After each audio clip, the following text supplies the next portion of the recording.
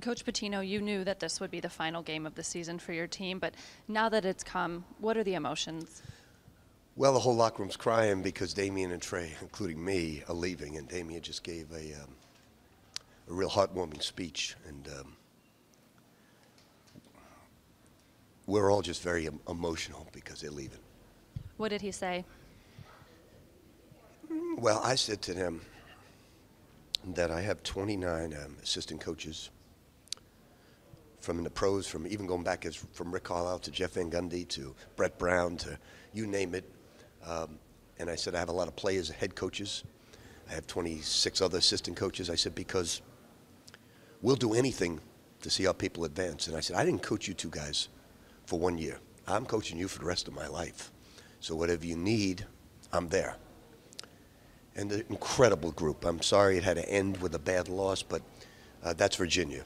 Uh, we're a very uh, we're a young team. Virginia's a very mature team.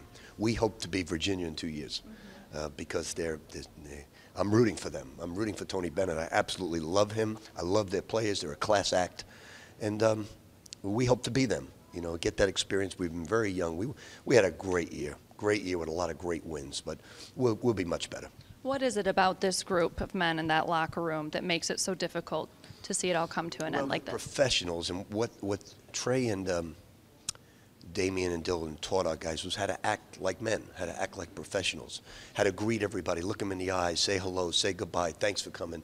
Um, when, when somebody asked them for an autograph, they said, hey, "Thanks for asking for that."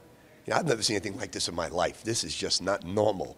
God, if, if, I, if I could write a book, which, which I have written a few, I'd write a book on you guys watch these guys. Every young person in the world watch these two guys how to act like professionals. I'm, I'm just a very blessed and lucky coach this year. I mean, I, I don't care if we're going to the tournament or not. I'm just a lucky man.